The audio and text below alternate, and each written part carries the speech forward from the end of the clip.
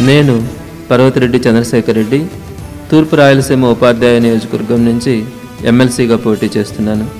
గత ఇరవై ఎనిమిది సంవత్సరాల నుంచి ఒక ఎయిడెడ్ కాలేజీ లెక్చరర్గా విద్యాసంస్థల డైరెక్టర్గా అలానే రెడ్ క్రాస్ చైర్మన్గా అందరికీ అందుబాటులో ఉంటున్నాను. రాబో ఎమ్మెల్సీ ఎన్నికల్లో మీ మొదటి ప్రాధాన్యత ఓటు వేసి మంచి మెజార్టీతో గెలిపిస్తారని మిమ్మల్ని అందరినీ విజ్ఞప్తి చేస్తున్నాను. మీ అందరికీ అందుబాటులో ఉంటాను. మీ అన్నగా తమ్ముడిగా మీ ప్రతి సమస్యలో మీకు తోడుంటానని మనస్ఫూర్తిగా తెలియజేస్తున్నాను. మీ పర్వతిరెడ్డి చంద్రశేఖర్ రెడ్డి. నిన్ను ఒక తమ్ముడిలా చూశానని నువ్వే చేతులారా చేసుకున్నావంటూ నెల్లూరు రూరల్ ఎమ్మెల్యే కోటంరెడ్డిని ఉద్దేశించి వైసీపీ నేత ఆనం విజయ్ కుమార్ రెడ్డి మాట్లాడారు. ఏ రోజు కూడా నువ్వు నీ నియోజకవర్గాల్లో జరిగే అభివృద్ధి కార్యక్రమాల విషయంలో ఆదాల ప్రభాకర్ రెడ్డిని ఆహ్వానించలేదని తెలిపారు. ఆలయంలో వసతులు బాగాలేదని అడిగితే వారి కుటుంబ సభ్యుల ముందు ఓ పని మనిషి చేత చైర్మన్ను తిట్టించావు మరిచిపోయావా అంటూ గుర్తు చేశారు. తెలుగుదేశం పార్టీకి ఇతర పార్టీలకి నేను విన్నవిస్తున్నా. ఇటువంటి వ్యక్తులను ప్రోత్సహించకండంటూ కోరారు. మరి ఈరోజు అధిష్టానం తీసుకున్న నిర్ణయానికి ఆదాల ప్రభాకర్ రెడ్డి గారునో విజయ్ కుమార్ రెడ్డి గారునో మీరు మాట్లాడినందువల్ల ఏమన్నా ఉపయోగం ఉందాయా దానివల్ల ఫలితం ఉందా? చేతులారా చేసుకున్నావు? నేను తమ్ముళ్ళలాగా చూసా మేము ఎంతో బాగా చేశాం.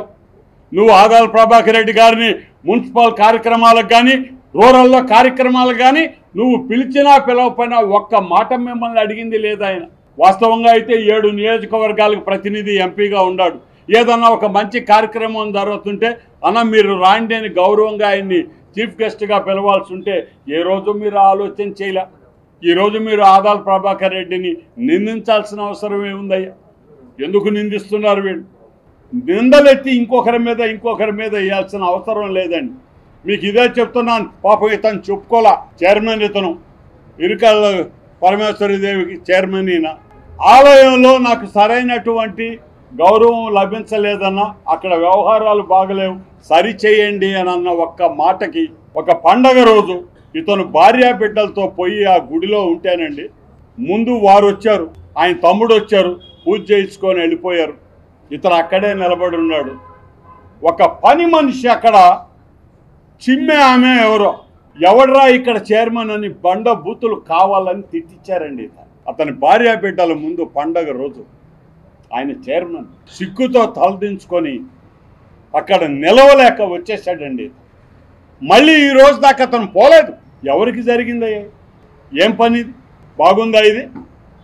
మీరు ఎక్కడో సంప్రోషణకి వెళ్ళిపోయావు నువ్వు. మీరు ఏర్పాటు చేసినటువంటి కమిటీ ట్రస్ట్ చైర్మన్. బూతు బండలు తిడితే భార్య బిడ్డల ముందు ఒళ్ళు దగ్గర పెట్టుకొని బతుకని చెప్పి ఇతన్ని మాట్లాడే పరిస్థితి వస్తే ఇక ఏ పరిపాలన గురించి ఏ అభివృద్ధి గురించి తమరు మాట్లాడుతున్నారో మాకైతే తెలియట్లా. ఈరోజు ఇదే చెప్తున్నానండి. ఇటు రూరల్ కావచ్చు ఇటు మున్సిపల్ కార్యక్రమాల్లో కావచ్చు ఎక్కడ కూడా పరోక్షంగా కూడా ఎవ్వరి పాత్రకి అవకాశం ఇవ్వనటువంటి వ్యక్తి శాసనసభ్యుడు రూరల్ శాసనసభ్యుడు. ఏ నిర్ణయం తీసుకున్నా అతనే తీసుకొని అన్ని నాశనం చేసి వదిలాడు. ఈరోజు వ్యవస్థ అది జరగలేదు ఇది జరగలేదు అనే కాలంలో దిగా. ఎవరు దిగమన్నాడయ్యా?